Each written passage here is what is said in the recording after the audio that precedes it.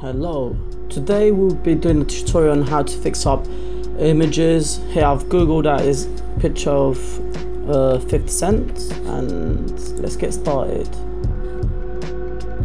Well first of all I would like to get rid of all these patches, spots, maybe a few wrinkles, not too many otherwise it will look too much of editing.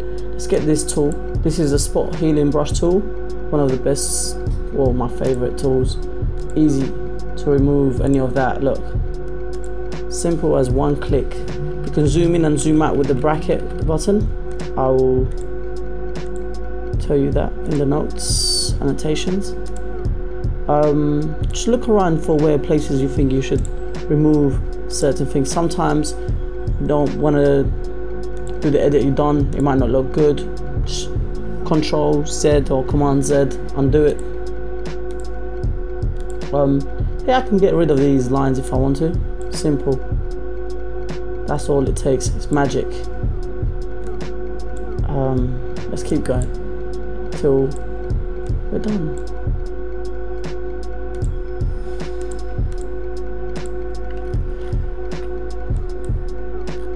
So here, if I'd done that, that would look, that won't look right as everyone has those lines. It's normal so I'd undo that. Um, you could probably do this but it won't look like him normal you know? As everyone knows Fitzon's got thick lines. Necklines you could get rid of necklines but these stuff I'll show you they won't show as much after I use this tool just to get rid of the simple things rather than getting rid of everything. Okay, now what we do is zoom out and uh, select a brush. I've chose the soft brush. Hardness is set to zero size you can adjust it or you can just use the bracket to increase and decrease. Um, as you can see. Um, what I'll do I'll hit this one right here. Now it's in selecting mode. Well whatever I choose will be get selected. Or won't get selected deselected. Then we hit select and inverse um, let's select all the places that shows his skin as we're going to apply some blur and uh, give it a better a smoother look to his skin. Just try to select everything. If you do go like that accidentally just select the wrong places you can just choose a uh, rubber and rub it out. So sometimes it's easy to just go through everything and rub rub it out at one time.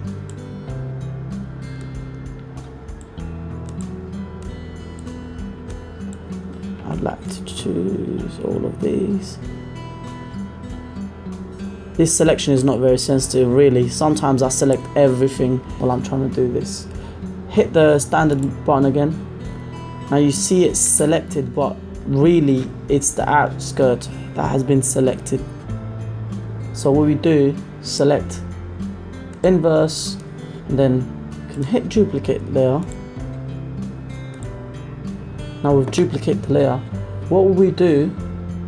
Uh, usually I use a duplicated layer to, to sort of maybe I'll do the these the copied layer too much and then I'll go over it. I'll show you how. Go to filter blur surface blur and uh, you could choose to the amount you want. Um, usually there's not a, a, pro there's not a correct uh, amount. It's just what you can see. If your photo size is huge it's going to be different. If it's small it's going to be different. Um, on this photo I'll pick around 15 to 30 let's go about 35 15 to 35 to add it up to the exact numbers. Now if you see what is done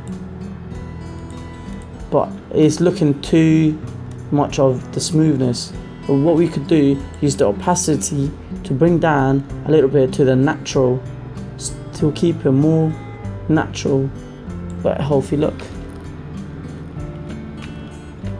um, also could edit control shift and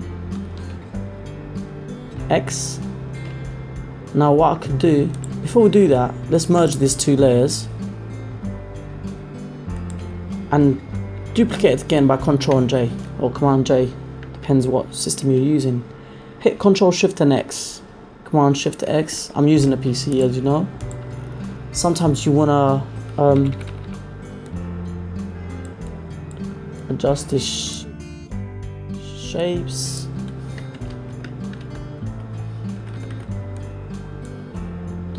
Um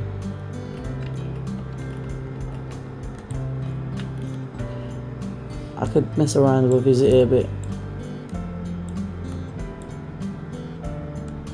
he's got a funny looking ear. Um we can always mess about with his mouth teeth, whatever it is. Like here.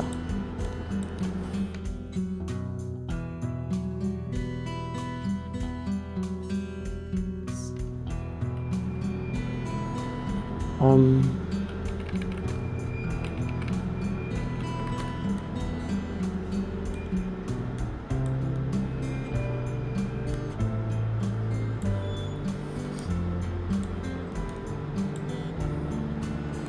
let's look back.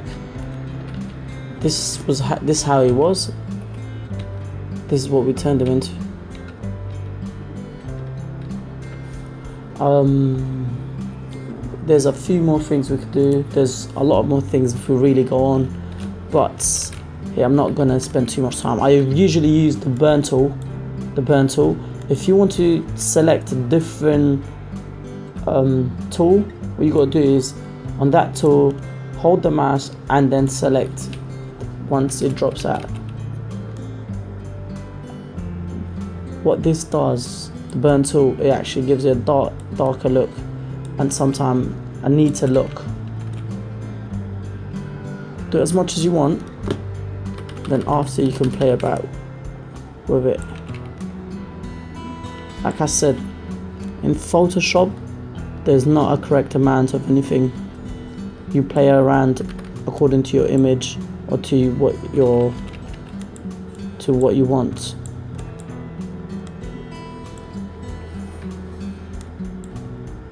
What I'm going to do now is drop down the opacity. So this I was. Okay see here we didn't duplicate the layer the previous layer. So what we could do is just undo some um, duplicate layer.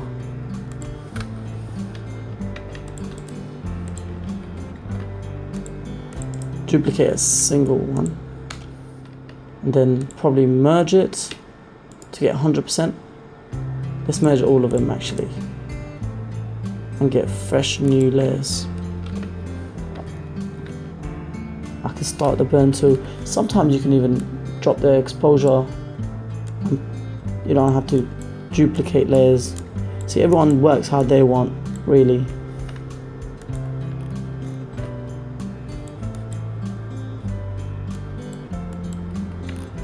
Okay what we could do is use the dodge tool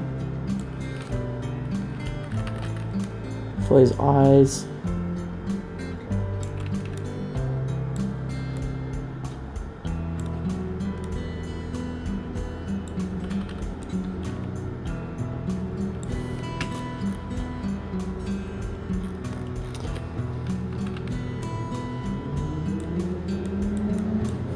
doing this quickly anyways, I'm rushing it.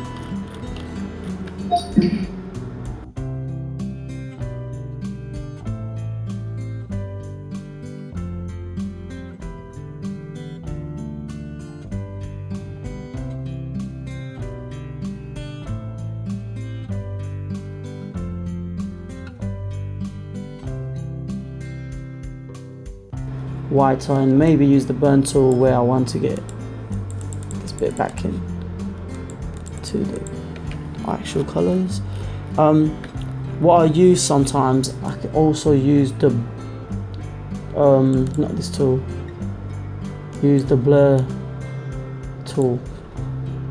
I could use it for where it's got just to make it look neater. Don't want to do too much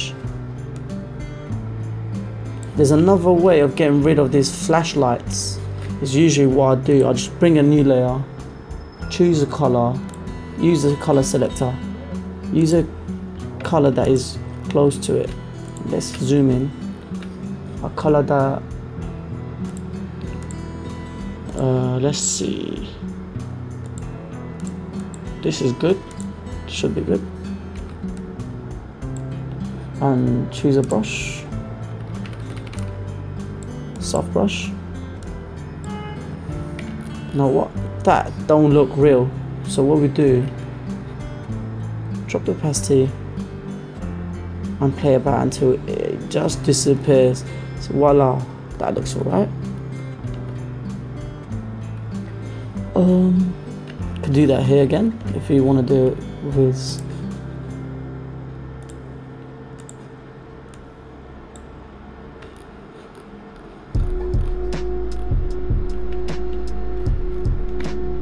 didn't look too good.